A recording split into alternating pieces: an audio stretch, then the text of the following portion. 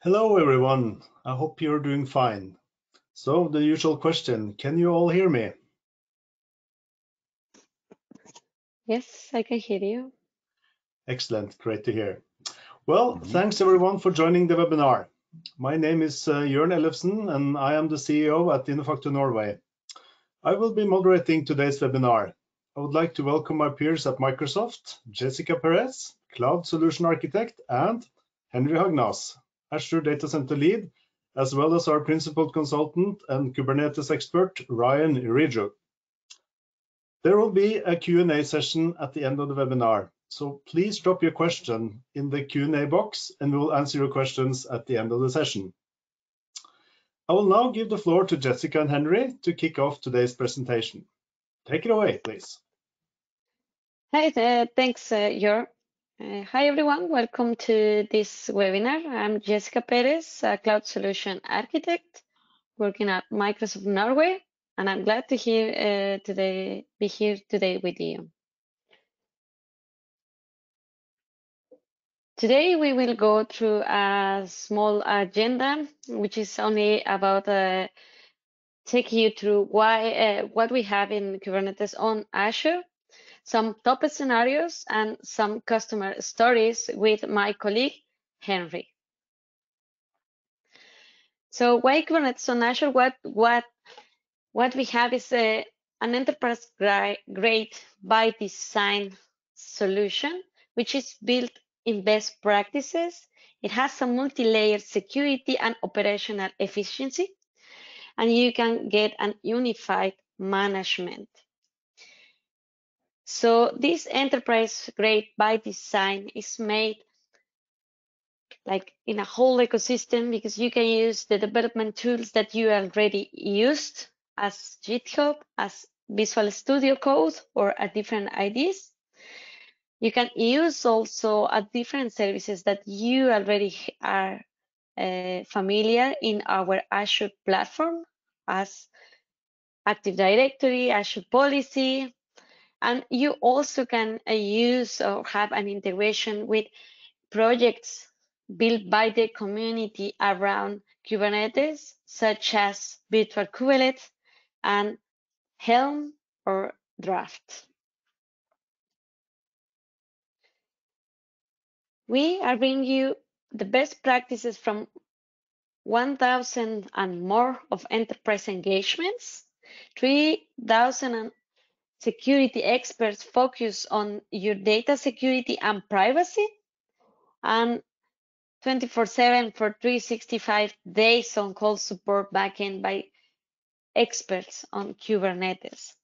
We are also the uh, the cloud provider with more regions than any other available uh, with Kubernetes than any other cloud provider. With uh, the use of Azure Advisor, you can have a proactive and actionable recommendations for your specific cluster and workloads deployed on your Azure subscription. So then with this, you have the, the ability to improve your performance, your security before any issue or problem exists. So this is really good that, that Azure can uh, provide you with this kind of uh, real-time advisor. So you can, you also get multi-layer security. You can use Azure Policy to enforce the deployments to the cluster. You can use fine-grained active uh, identity and access management with the use of Azure Active Directory. You can uh, get an overall about your the cluster security with the integration with Azure Security. And you have a lot of different other services uh, which enhance the security of your cluster. We will go through this in a more uh, detailed way a bit uh, later. You can also, as I mentioned before, use Trust uh, Azure Advisor to get real-time um,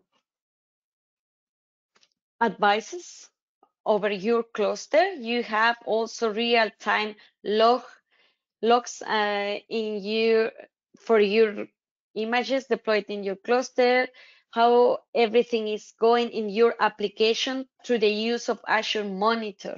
You can also uh, elastically add more compute with the use of virtual node, which is serverless Kubernetes. And you have uh, also can have uh, disaster recovery with the use of different regions to deploy your cluster.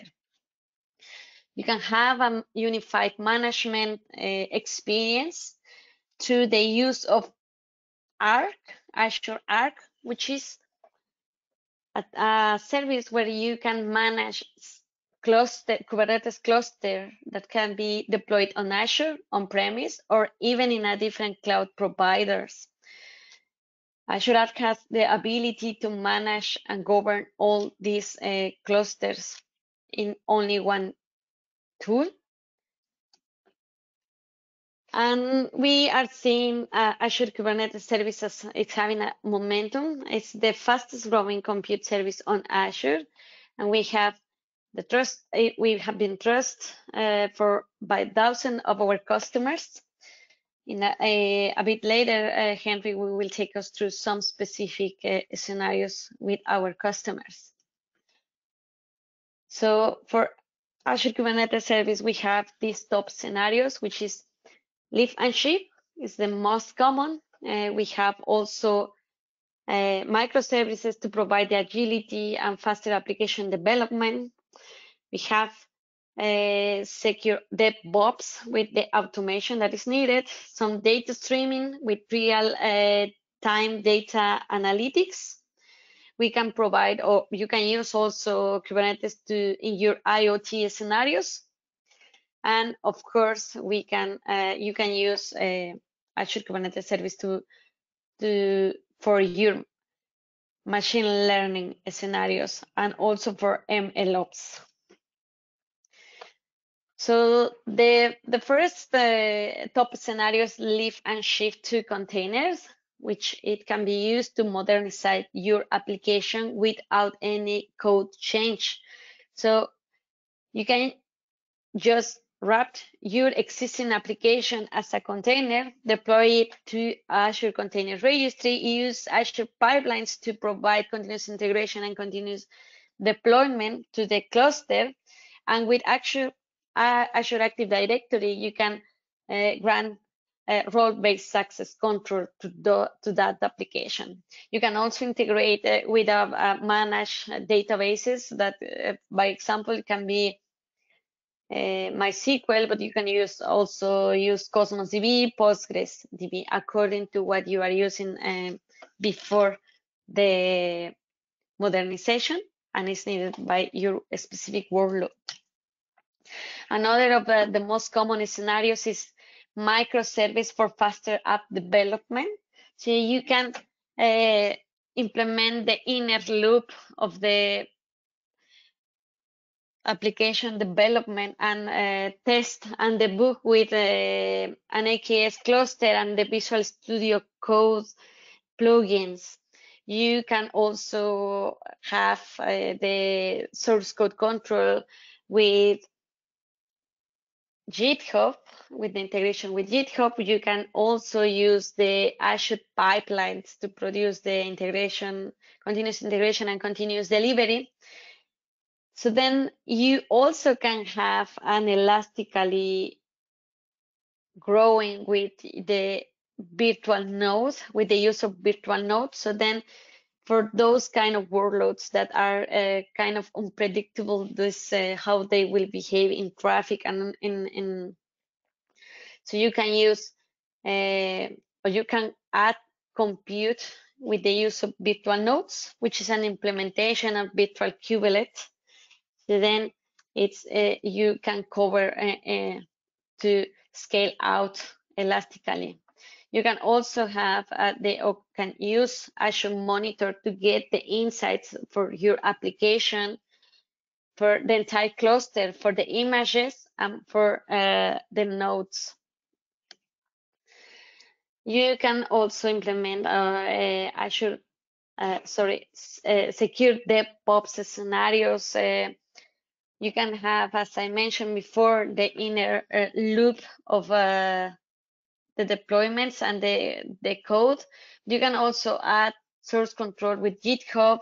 You by default you have an Azure in Azure Containers Registry all the images are scanned. So once that, once that you upload an image through your uh, containers registry, the image is automatically scanned. And every time that you pull any image is again scanned. So you can enforce this also uh, who is having, uh, or not who, but the, which specific uh, components in your architecture is performing what through Azure policy. And you can enforce um, who is uh, getting access, fine-grained access with the use of active, active directory direct to the cluster. You can get some app telemetry and container health, real-time log analytics with Azure Monitor. Even you, even uh, with Azure Monitor, uh, sorry, with uh, log analytics, you can get some Prometheus uh, logs directly in uh, Azure Monitor. So it's uh, really well uh, integrated with different Azure services, but also with open source or third-party tools that are not natively deployed on Azure. You also can, uh, or one of the most common uh, use cases is uh, use Kubernetes in data scientist in a box so you can combine this um, when you are training some models for example with uh, machine learning experimentation or with cognitive services uh, if it's needed that the, the model needs to be run and it has a really really um, high workload. So you can deploy this on AKS and you can implement MLOps in that sense with the use of Azure pipelines together with uh, uh, AKS and uh, the cognitive services or the machine learning experiments. So all these uh, machine learning images, you can also uh, deploy it to the Azure Container Registry and deploy whatever image uh, there and just pull it to your cluster. So in that sense, when you use uh, MLOps, you can uh, provide the full life cycle of uh, one experiment, of one um, model with AKS. You also uh, can use uh, AKS and scalable Internet of Things solution. Example with the use with IoT edge devices, which take the telemetry and all this information in uh, time series uh, formats from with IoT Hub, and then connect this directly uh, to AKS and use some of the specific databases. Like the most common will be like uh, either uh, Postgres or Cosmos DB for uh, sorry, the most common is Cosmos DB for document databases, which uh, it will, or time series. So then you can get all this telemetry and in, in your database together with the application in the AKS cluster. You Another very popular uh, scenario is the data streaming part. So you, if you are getting a lot of data from I, some IoT sensors. Then you can have an API management for your services, but you can also uh, interface this with uh, some AKS integration. You can use Cosmos DB to get all the all the data that is uh, needed to analyze and then send uh, directly to some um, Apache Kafka streaming or then HD Insights also workloads. You can analyze this as well with Splunk. And then you can use some of the, for example, Redis cache or Postgres database And then final, finally, uh, you can deploy all these together to an app service. So then it it's the AKS only helps you, or, or it helps to the ingest and um, treatment of all the data for for the sensors, and gives you all the power that AKS has for data streaming scenarios. So these are the, the top uh, use cases that we have on Azure. And now I would like to welcome my colleague Henry Agnes, who is our data center lead, who will take us to the customer stories. Henry? Thank you, Jessica. Yes, so I am uh, Henry Hagnes. I will tell you a little bit about uh, different real customers uh, from uh, uh, from the uh, the real Norwegian customers that are using Azure Kubernetes today in production. And I will not go into super much detail into all of them, uh, but I will give you a taste of what it is. And then we will go deeper into the last one, because that is actually my own design from before I joined Microsoft. So I'm quite new at Microsoft and I have a a pretty fresh perspective on Kubernetes in production. So I hope you guys will find that uh, interesting. Uh, we will start by talking about Hafslund Nett. Uh, so those of you who are in Norway might remember that uh, three, four years ago, there was actually a law that we need to start doing uh, collecting smart utility data uh, from all uh, all different consumers of electricity in Norway. And Hafslund had the need to then suddenly start processing very large amounts of IoT data. So this data is coming from one and a half million users, uh, and they have their by law even have to be able to receive this data. So Hafslund uh, developed their own software for this, but they chose uh, Microsoft Azure to host this.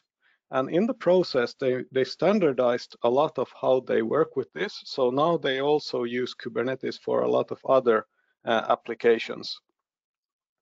And their uh, architecture looks a little bit like this. We will not go into details, but as you saw in Jessica's discussions uh, and slides, you, uh, there is a lot of uh, uh, components around the Kubernetes that Microsoft is also providing. So we have container registry, we have Active Directory, we have the databases, uh, API management, load balancers, and this is very much about uh, the benefits that Microsoft can provide to you is that you get a really well designed and scalable Kubernetes environment and you get all of these other services around it.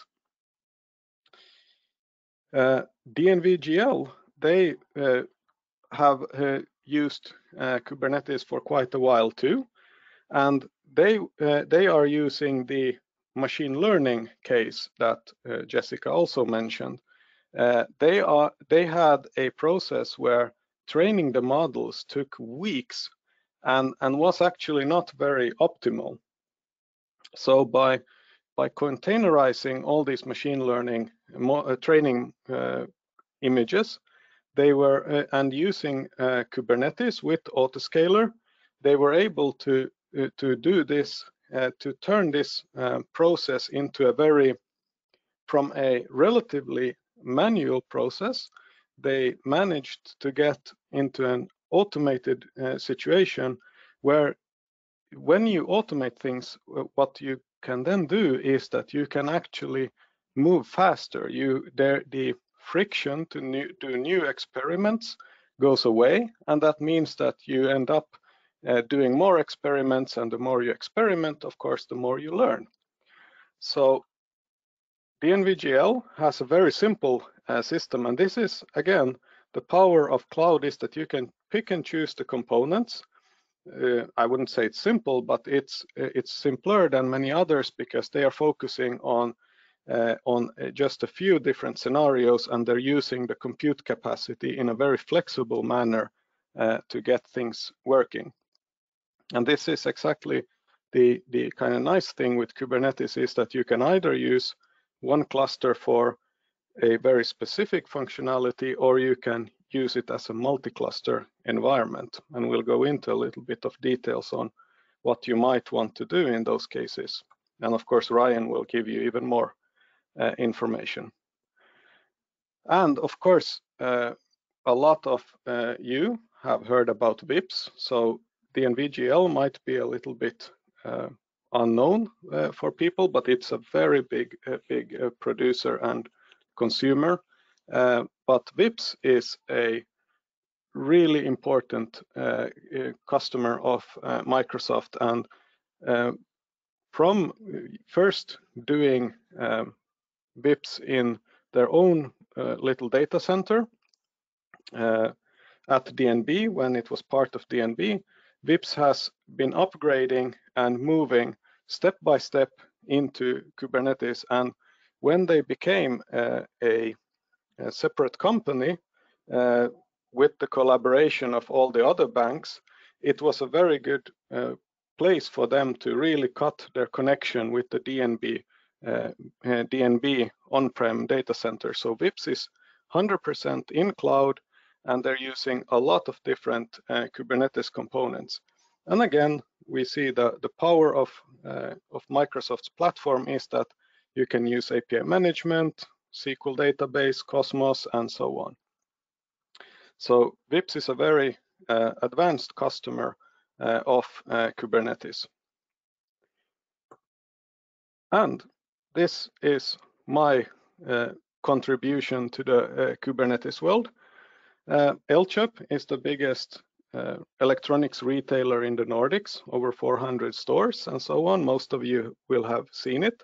Uh, to the right in the picture, you can see a mobile terminal that is being used for selling. And this is actually a tool that is running on Azure Kubernetes. And it will in fact be, uh, it is being rolled out in Norway as we speak. So this was, this was last year first versions were launched in um, Denmark, and before Easter, uh, Elkjøp finalized the rollout in Sweden, and right now it's ongoing in Norway. So once the lockdowns are over and Elkjøp stores are open, most likely when you go into an Elkjøp store, you will be able to uh, see that this tool is being used. And that tool is actually a uh, just a layer on top of hundreds of microservices that Elkjøp has created, and those are all hosted on Kubernetes. And since this uh, is uh, such a uh, critical component uh, in, uh, in the whole sales chain, uh, it is, of course, needed a lot of different components. There are lots of um, lots of Microsoft components. There's Cosmos DB, service bus, and so on.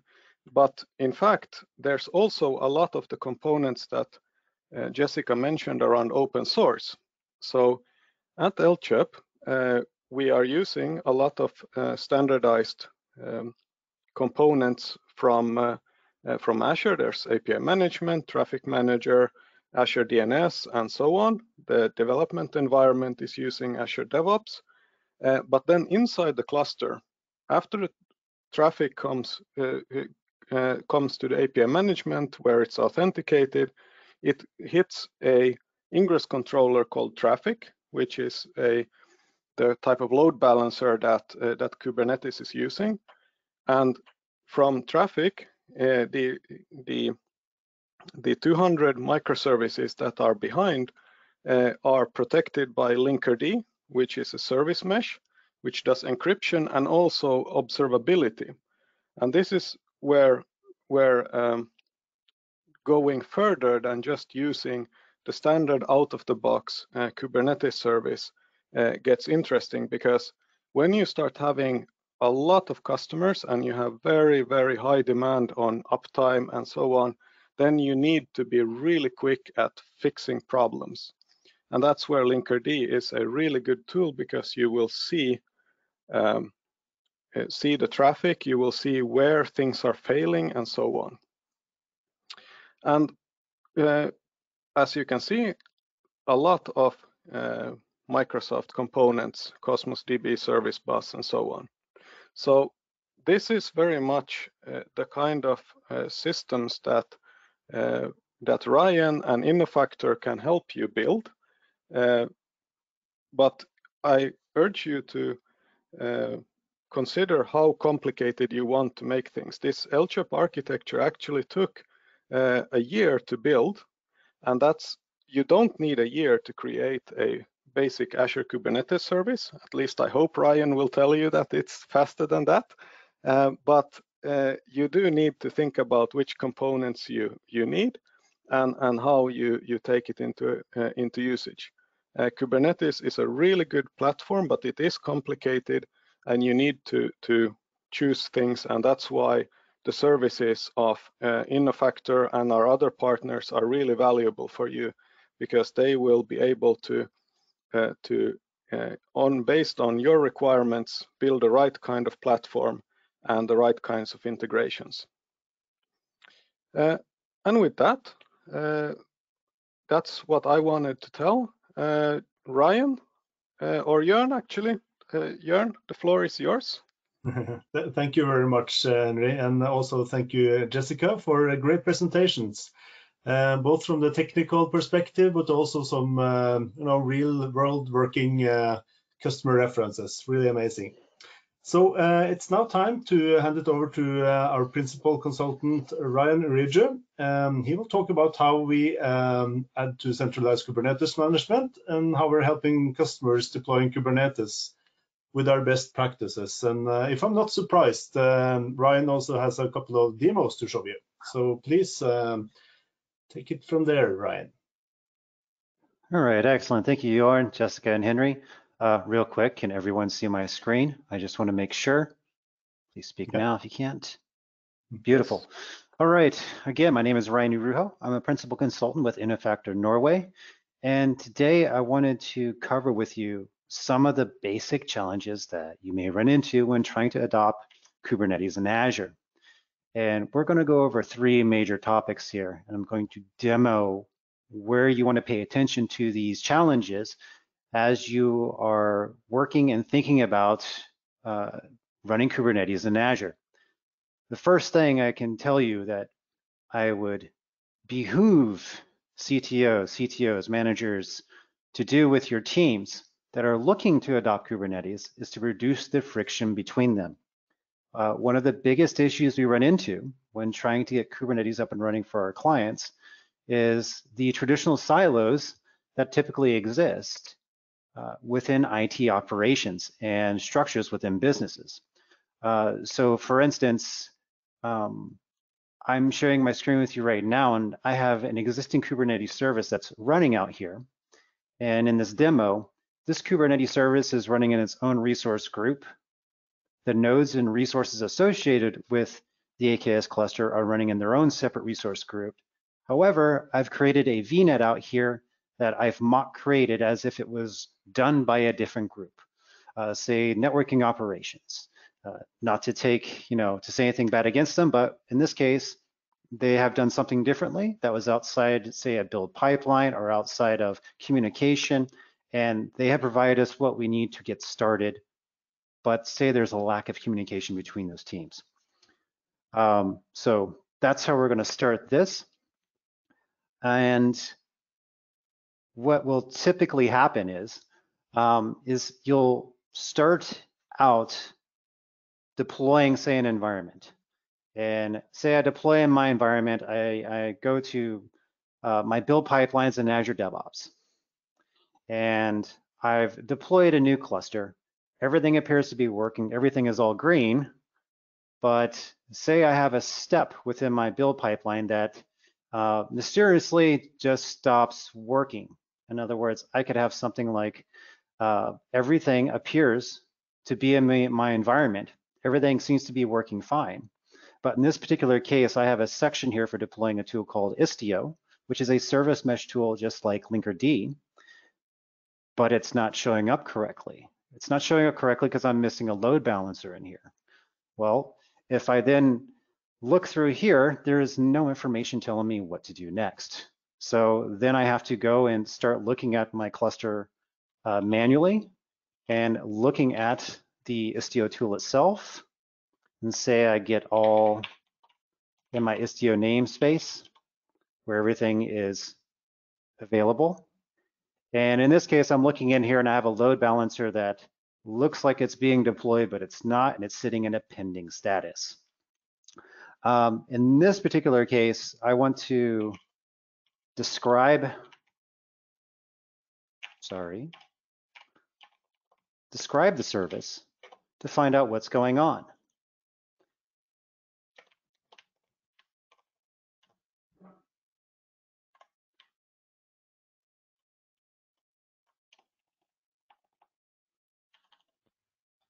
And if I look at my service here, I have an error message in here.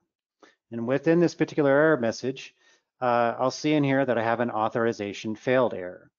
And it's telling me that I'm missing, that I, that I have a particular user, in this case a service principal, that doesn't have access to the particular networking environment that was originally set up by the networking team.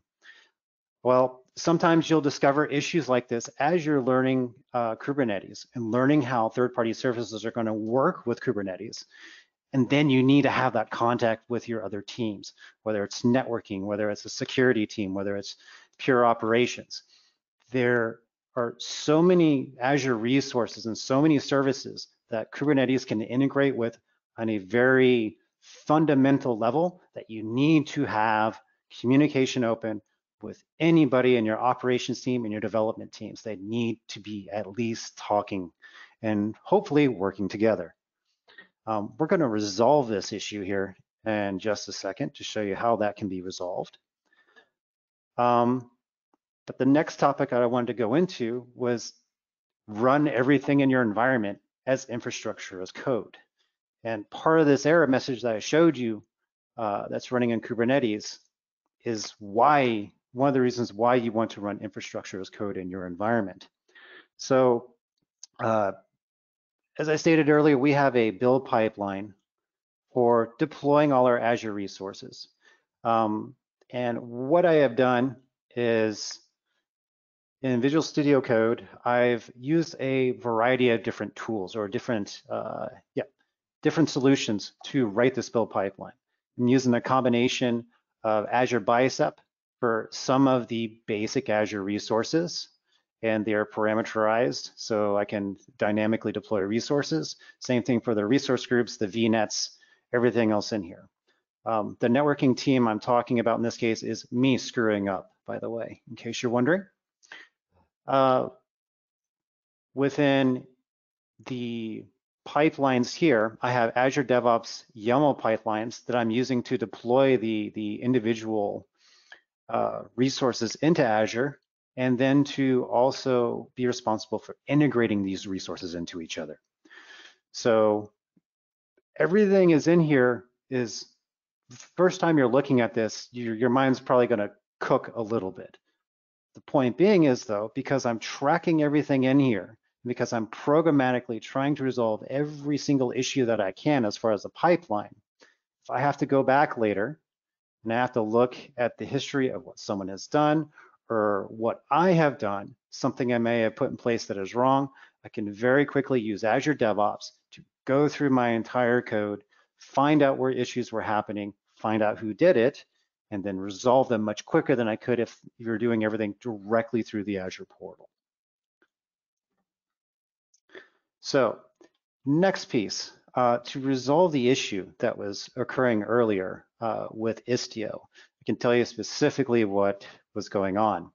Uh, the cluster I deployed is using managed identity, and I purposely blocked granting the managed identity of the AKS cluster from having access to the primary VNet.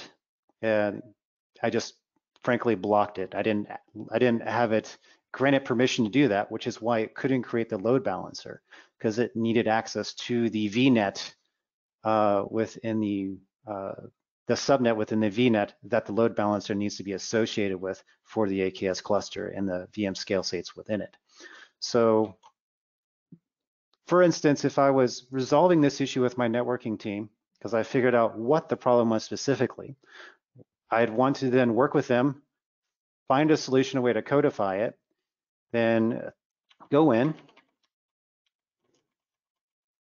and update my code and then rerun my pipeline. So then the load balance, the Istio would then be configured correctly, have the correct permissions from the AKS cluster to then uh, have Istio running in here on the K8s cluster correctly. I'm not going to wait for this to run, but it has been kicked off.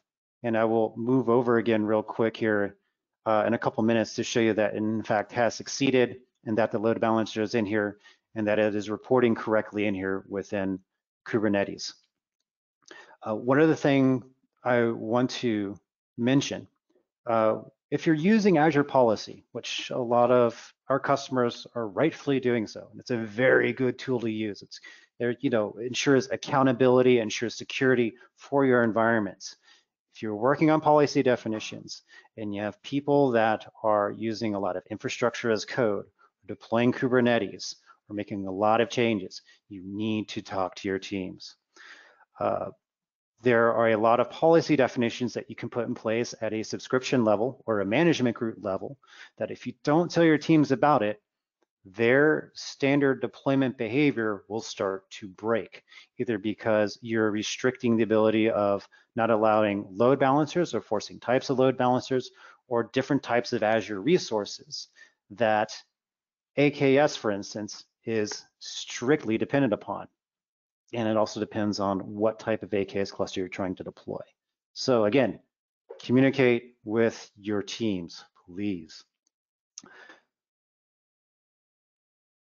Last thing I want to talk about, data storage related to Kubernetes. If there's nothing else you get out of using data storage in Kubernetes, do not store data in the K8s cluster itself. There's nothing else you get out of this talk. Don't do it, please. Save yourself a lot of headache, a lot of strain, and a lot of trouble. And I will demonstrate to you why here in just a second. So when you deploy an AKS cluster, uh, by default, you're going, two resource groups are going to be created for, for an AKS service.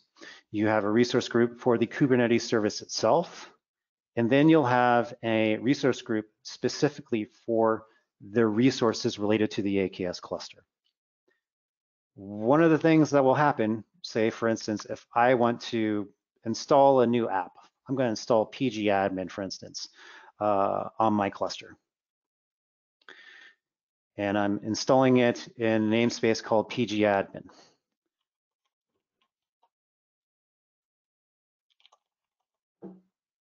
It's starting to create a container.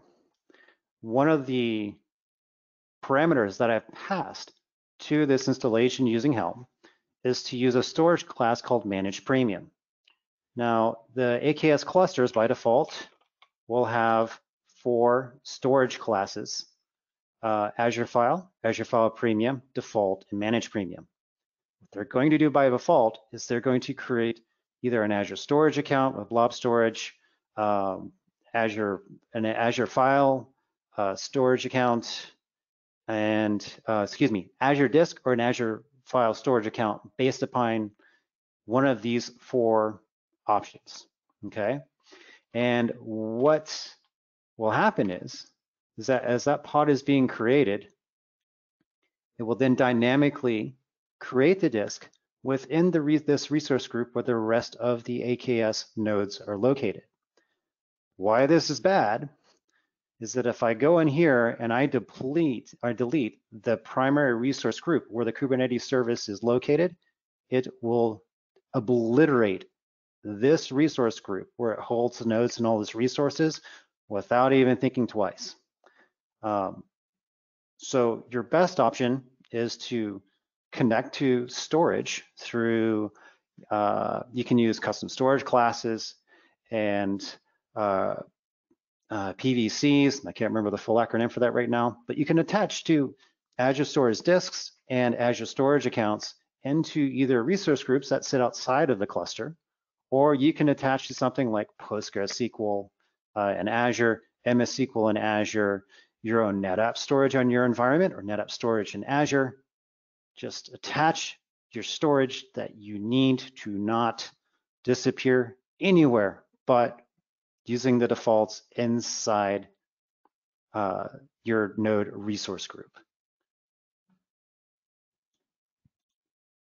All right. And just to show you how quickly that storage will go away, in fact, if it was critical, if I were to delete that namespace pgadmin, not only will the pods and the other services be deleted on the cluster, but this dynamically provisioned storage will disappear here in a matter of 30 seconds or so, as soon as uh, the namespace has been uh, obliterated from the cluster.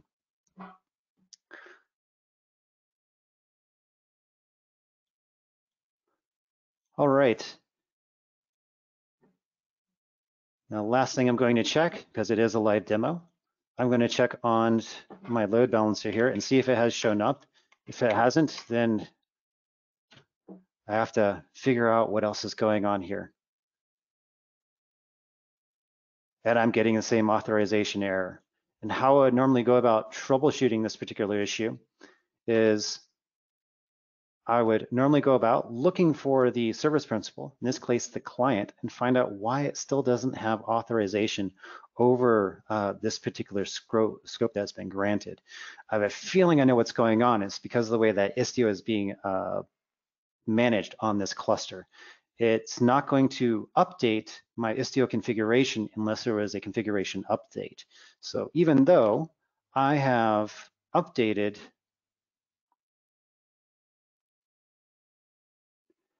uh, the roles, in this case, my network contributor role on the AKS cluster, or excuse me, on the VNet that I was dealing with earlier, and I've added here the serve managed service principal of the AKS cluster. Istio will not recognize that. So what I'm going to have to do here is delete the Istio namespace.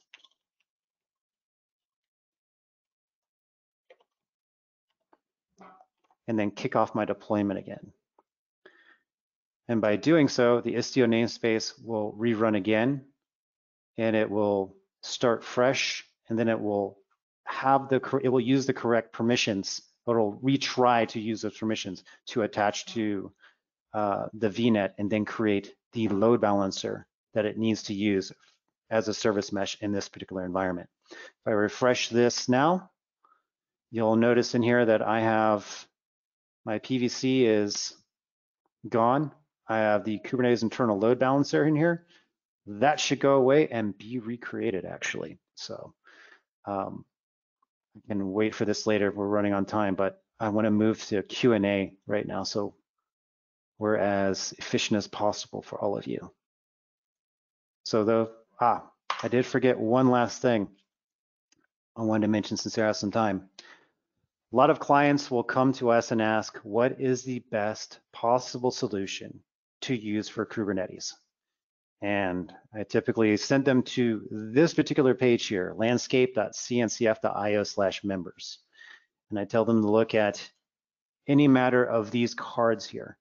And this will tell you the sheer amount of tools that are available out there that are in some way more than likely linked with Kubernetes, orchestration and management, discovery, services, etc.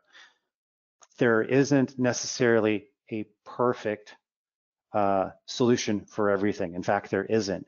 What there is, though, are there very good solutions for your teams and your companies based upon the skill sets of your team members and uh, your employees. That's where I would, I try to focus my customers to uh, move them in that direction so that they're using solutions that their internal team can support um, and that they can evolve with over time. Uh, going back to the discussion about infrastructure as code, when I have them use these particular tools that they're comfortable with, and then they're deploying everything as infrastructure as code, it also becomes much easier to make incremental changes to their environment.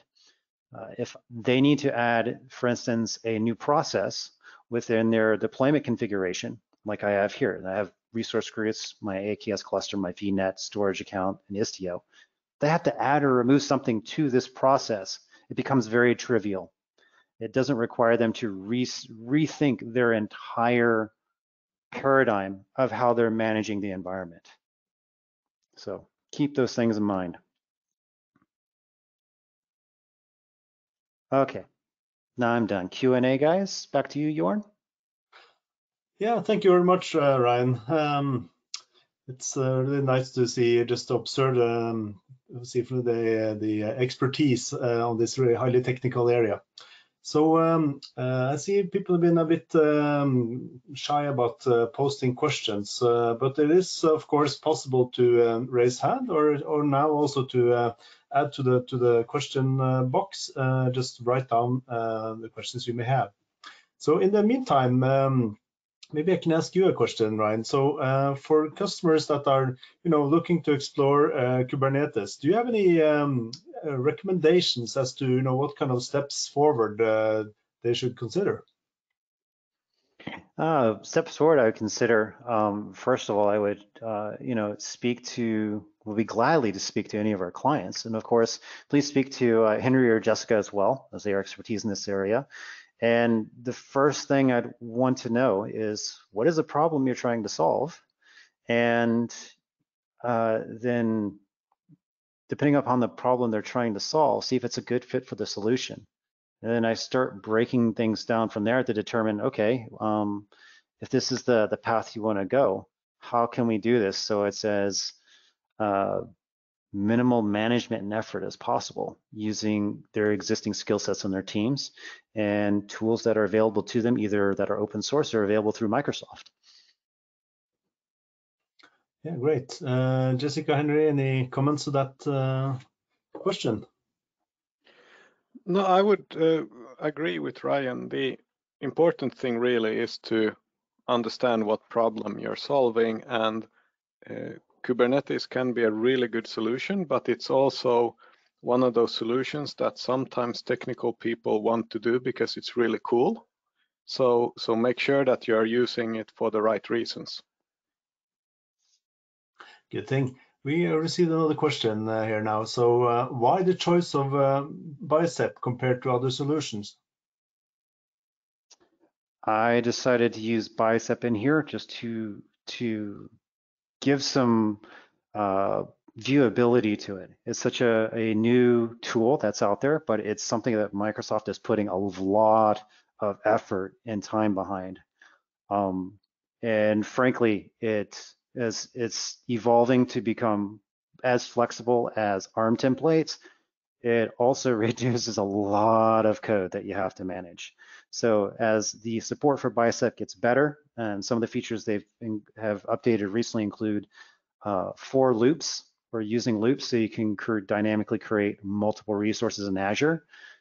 Um, yeah, that's going to be the paradigm that I think uh, if you're working with purely Azure resources, um, just to get basic resources out there, that's probably the way a lot of people are going to go, especially for managed services in Azure. Um, I use a lot of uh, custom solutions as well. That's why I use a lot of Azure CLI and Bash for the Kubernetes integration, uh, especially for this particular demo, um, because it's quick and there isn't a lot of real, um, especially for something like Istio, there there isn't they're dropping support for Helm. So it doesn't make sense to use Helm to show deployment with, with Istio. But for other solutions that are integrated with Kubernetes, I could have used something like Helm for the integration. So. Hmm. Yeah, great. Uh, another question. Sorry, loaded question. Yeah. Um, yeah, right. Another question. Do you support graph databases, uh, databases in Azure? Yes, we do. So I would recommend that you have a look at Cosmos DB. Cosmos DB actually has the same backend, but very many different um, APIs for how you can request that data. And that's what makes Cosmos DB really cool, plus a lot of other good features around um, uh, reliability and uh, SLAs on requests and so on. uh, but you can you can do graph uh, requests in uh, for Cosmos DB too. So it, it's actually kind of nice. The specific API that we have is uh, Gremlin. So you can use that uh, as a graph database Correct. on Cosmos. Yeah. Uh, another question uh, here that's for me, since people can take their time to uh, to write more more questions. Um, maybe to you, Henry, from uh, your time at uh, Elkjøp. Uh, so, um, what uh, did you feel were the biggest obstacles towards, you know, building a platform in Kubernetes? I think that for us it was um, that we were in the middle of a big project at the same time, so we had to do a move uh, step by step and without interrupting anything. So we had to move quite carefully. Um, another thing that because we we were what I didn't mention was that we were actually already using Azure Web Apps. So we were in Azure, we had a modern software platform. Um, what we had to then do was to actually use a lot of these uh, different open source components from the uh, screen that Ryan was showing uh, to replace some of the built-in functionality that exists in Azure Web Apps because Azure Web Apps are actually quite good uh, for basic uh, systems but then when you want uh, to be have like one pane of glass for uh, management when you want better scalability properties and so on then that that's what and price because we were using a lot of money on on web apps. So then then kubernetes made sense for us. Uh, but that was also exactly like uh, uh, Ryan and I commented earlier that really uh, know that you are you need Kubernetes. Uh, that that was what we spent a lot of time on before we started the journey. A, follow-up question. So uh, there's a lot of um, changes happening to the Kubernetes area. So how do you keep track on that in terms of um, of you know keeping or maintaining the staff updated uh, on competence? That's a mm. really good question. Uh, the it's a lot about uh, own motivation too, of course. Uh, as long if you're using uh, um, mostly uh, Azure Kubernetes, we we will actually support the old way of doing things, and we will gently start warning for over a year. So, we, for instance, uh, we are uh, right now we are go we have announced very recently that we will uh, stop supporting a feature called pod security policy, uh, and we are re replacing that with uh, with some uh, something, but we've actually not finalized that, but we've announced it already now, and then. we are already committing ourselves to supporting the old pod security policies for over a year and then uh, then that uh, and but you will in the next version of kubernetes you will start getting warnings when you're deploying a pod security policy that says that we are about to um, deprecate this. And and i would say that that's kind of uh, common nowadays that uh, when you are doing this uh, that kubernetes really tries to run and then you just have to to follow up on the logs and the warnings to make sure that uh, that you follow those recommendations. And of course, in uh, Azure, we have the uh, recommendation engine, which will also give you some advice if it detects that you have an old configuration or so on. Yeah, I just want to follow up on what Henry is saying real quick or piggyback. The I recently updated a, a client's K8s cluster that I had originally or had updated Easter of last year. It was running on Kubernetes 1.15.3 and updated it to 1.20.4, I think. And I did that over the Easter weekend. I spent four hours just going through the existing code base I had to make sure there are no major changes. Went on the, uh, you know, went online, researched any updates between the two changes, made a couple modifications based upon some things I found, tore down the old cluster, redeployed the new one. Because again, you segregate the K8s cluster from anything else that is uh, that you can't lose data on, the update itself took 15 minutes. The research took four hours. So that's not a horrible time investment to completely tear down and redeploy uh, a K8s cluster. And I was also able to determine, you know, if the DR process I had in place for that was working as well. So even though it may seem like a massive investment, I would say it is upfront, but then managing it over time, it becomes very, very manageable. Yeah, that's the power of uh, of having things scripted uh, because you will then know exactly what you have running and it's easy to verify. Yep. So there's still room for a couple of more questions, guys, um, if you want to write. Um, meanwhile, um, so uh, now we've seen that um, there are a lot of things changing, happening around the Kubernetes space. Um, but uh, what are the future trends? Uh, where is this uh, heading?